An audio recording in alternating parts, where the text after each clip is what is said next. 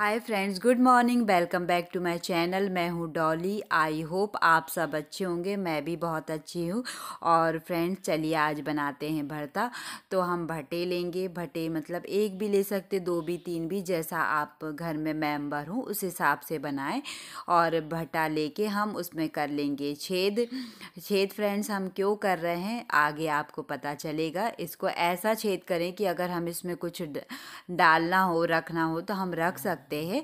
और ये देखिए फ्रेंड्स, इसको ना चाकू लगा के थोड़ा अंदर डाल के थोड़ा सा हल्का घुमा लीजिए और इसमें हम डालेंगे फिर लहसुन। और लहसुन फ्रेंड्स डालिए ज़रूर क्योंकि ना अभी ठंडी भी है फ्रेंड्स और लहसुन गर्म भी करता है तो ठंडियों में बॉडी के लिए बहुत अच्छा भी होता है। और फ्रेंड्स, लोग ना घुमा, ऐसे गर्म करके भी खा लेते हैं ऐसे लहसुन। और भरता भी थोड़ा बादी भी होता है, इसलिए लहसुन डालना ज़रूरी है।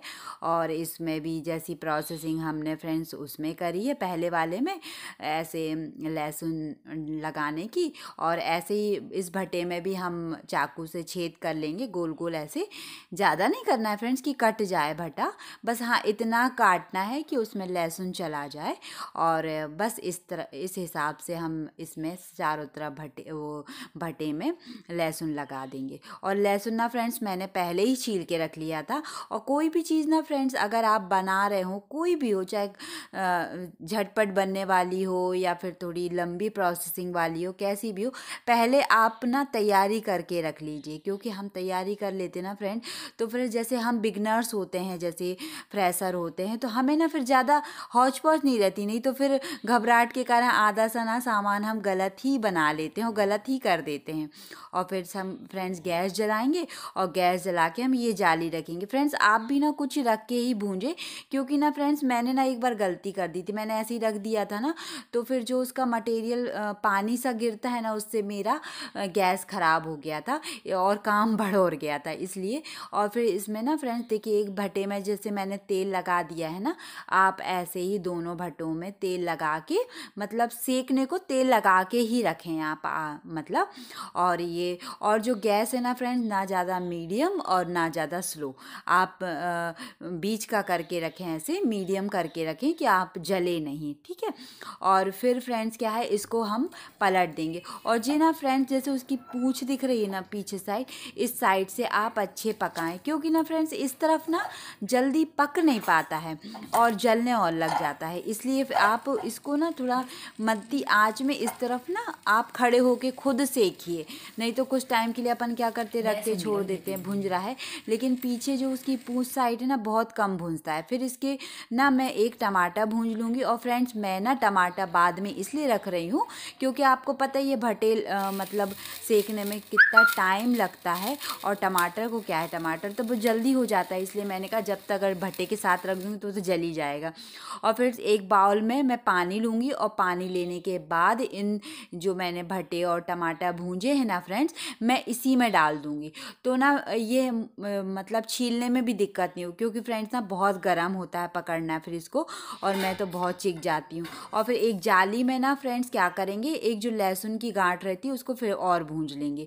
फिर ये ना फ्रेंड्स देखिए ठंडा हो गया है तो मैं इज़िली हाथ से भी पकड़ पा रही हूँ। और हाथ से पकड़ने के बाद इसको आ, जो छिलके हैं ना फ्रेंड्स, जितने निकलेंगे तो निकाल दूँगी। हालाँकि भुन जाते हैं तो फिर वो तो निकल ही जाते हैं तो मैं इसको ना अलग अलग से आराम आराम से इसको छील ले रही हूँ। और आप भी फ्रेंड्स इसको ना ठंडा करके अच्छे से केयरफुली ही काम किया करिए, क्योंकि ना मैं तो बहुत चिख जाती हूँ। और फिर फ्रेंड्स देखिए ये वाला दूसरा भी मैं छील लूँगी।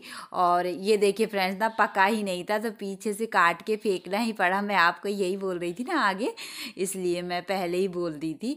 और ये फ्रेंड्स छिलका मैं निकाल ले रही हूँ। और छिलका ना फ्रेंड्स मैं उसी पानी में रख ले रही हूँ फैले नहीं मतलब। और जो आ, पा काट के मतलब जो छील के रखे हैं मैंने जैसे टमाटर और भटा मैं, मैं मैंने ना उसको दूसरी प्लेट में ट्रांसफ़र कर दिया है कि ये कचरा नीचे नीचे ना फैले और प्लेटफॉर्म साफ़ रहे।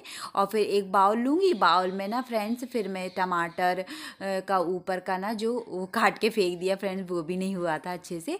और फिर ना इसको मैं थोड़ा थोड़ा काट लूँगी कि मतलब जो हम इसको आगे हाथ से या फिर आलू मथनी मसकनी आती ना जैसे हम जो मसक देते हैं कोई चीज़ उससे तो हमें ज़्यादा फिर वो ना लगे। और ऐसे ही भट्टे को भी हम थोड़ा थोड़ा सा काट लेंगे।